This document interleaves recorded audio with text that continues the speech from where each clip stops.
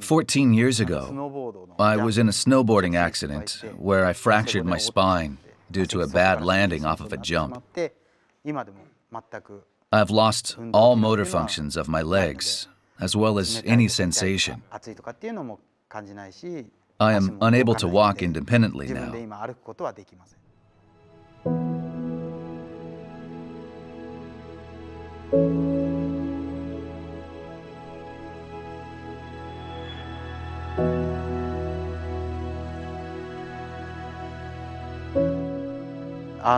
This orthotic brace, gait orthosis, was introduced to me during my physical therapy session.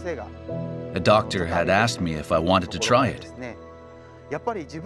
I really wanted to walk using my own legs since they were still there. There was a chance for me to walk again, and I didn't care how I looked. I just wanted to walk on my own.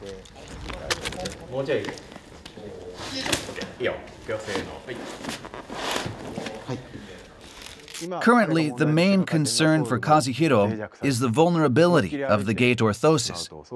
The brace will break if he walks aggressively. The results were exceptional, but the 20 year old design has reached its limit. I have great expectations for carbon fiber since its technologically advanced material were not available 20 years ago. Even just switching to carbon material has plenty of benefits. So I asked Uchida Carbon to help in joint development.